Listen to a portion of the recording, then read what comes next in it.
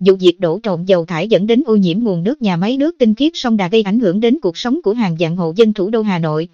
Hơn một tuần trôi qua, cơ quan tác dụng vẫn đang đấu tranh lấy lời khai các đối tượng liên quan. Diễn biến vụ việc cho thấy có nhiều vấn đề khó hiểu, cần lời giải đáp. Những điều cơ quan điều tra cần làm rõ.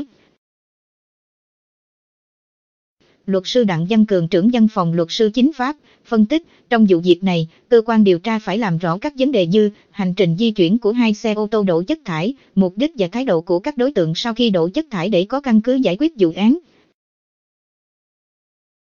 Ông nói thêm, thông thường chất thải nguy năng bị đổ trộn ra môi trường là của doanh nghiệp không có hệ thống xử lý, hoặc hệ thống xử lý không đảm bảo tiêu chuẩn, không dân lệnh lao lý về thu gom.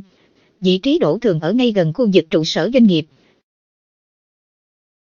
Vụ việc vừa xảy ra các đối tượng không phải là người của doanh nghiệp có chất thải, mà là người từ địa phương khác lên thu gom chất thải từ Phú Thọ mang về Hưng Yên, rồi lại ngược đường lên Hòa Bình để đổ. Các đối tượng vận chuyển đi hàng trăm sau đó quay lại đổ ở một khu vực nhạy cảm là điều hết sức bất ngờ, có giải thích, luật sư Cường nói. Đối tượng Lý Đình Vũ Ông nêu quan điểm rằng, cơ quan điều tra sẽ phải làm rõ động cơ mục đích của việc đổ chất thải ở đây là gì.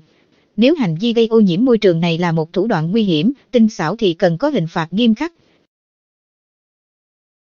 Ngoài ra, cơ quan điều tra cũng phải làm rõ những đối tượng có liên quan, tất cả các đối tượng chủ mưu, giúp sức, xúi dục đều sẽ bị xử lý về tội gây ô nhiễm môi trường với vai trò là đồng phạm. Theo lời khai của Lý Đình Vũ, hắn được một thiếu nữ trên trang thuê đổ. Nếu trường hợp lời khai này là đúng sự thật thì người thiếu nữ tên Trang sẽ là người chủ mưu trong vụ án, Trang sẽ phải chịu hình phạt nghiêm khắc nhất về tội gây ô nhiễm môi trường. Theo lao lý tại Điều 235 Bộ Luật Hình sự thì tội gây ô nhiễm môi trường hình phạt cao nhất có thể lên đến 7 năm tù giam, luật sư phân tích. Công ty để lọt hoặc bán chất thải phải chịu trách nhiệm như thế nào? Đối với công ty bán hoặc để lọt chất thải, luật sư Đặng Văn Cương cho rằng cần chú ý việc bán như vậy có đúng lao lý lao lý hay không? Hệ thống xử lý chất thải của công ty này được thực hiện như thế nào, để còn chú ý xử lý trách nhiệm trong việc bảo vệ môi trường? Trong trường hợp công ty biết rõ mục đích sử dụng chất thải đó để gây ô nhiễm nguồn nước, nhưng vẫn cố ý bán thì sẽ bị xử lý hình sự về tội gây ô nhiễm môi trường, với vai trò đồng phạm giúp sức. Còn trường hợp công ty không biết mục đích sử dụng chất thải đó là để gây ô nhiễm môi trường thì không có cơ sở để chú ý vai trò đồng phạm. Tuy nhiên, vẫn có thể chú ý trách nhiệm của công ty này đối với việc thu gom, xử lý chất thải nguy năng theo lao lý của lao lý. Trước đó, ngày 18 tháng 10, Công an tỉnh Hòa Bình đã tạm giữ hình sự hai đối tượng Nguyễn Trân Đại 1994, trú tại tỉnh Bắc Ninh, và Hoàng Văn Thám 1986, trú tỉnh Lạng Sơn, thủ phạm đổ dầu thải gây ô nhiễm nguồn nước sông Đà, đồng thời tạm giữ hai xe ô tô liên quan vụ án. Đến ngày 20 tháng 10, đối tượng Lý Đình Vũ 1982, trú tại xóm Xuân Lâm, huyện Thuận Thành, tỉnh Bắc Ninh, ra đầu thú và khai nhận cuộc bộ hành vi tội tình của mình. Theo báo công an nhân dân đưa tin, Vũ khai được một người thiếu nữ tên là Trang ở Phú Thọ thuê đổ chất thải.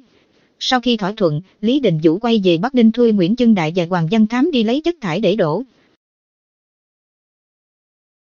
Ngày 6 tháng 10, Đại và Thám bắt tài ô tô tải hồ kiểm soát 99 cam 8783 đi từ tỉnh Bắc Ninh đến công ty gạch, vốn sứ Thanh Hà lấy chất thải bơm vào 10 thùng chứa khoảng 10 mét khối, sau đó di chuyển về công ty trách nhiệm hữu hạn cơ khí cao su 10, địa chỉ tại xóm Chí Đạo, huyện Văn Lâm, tỉnh Hương Yên gửi xe.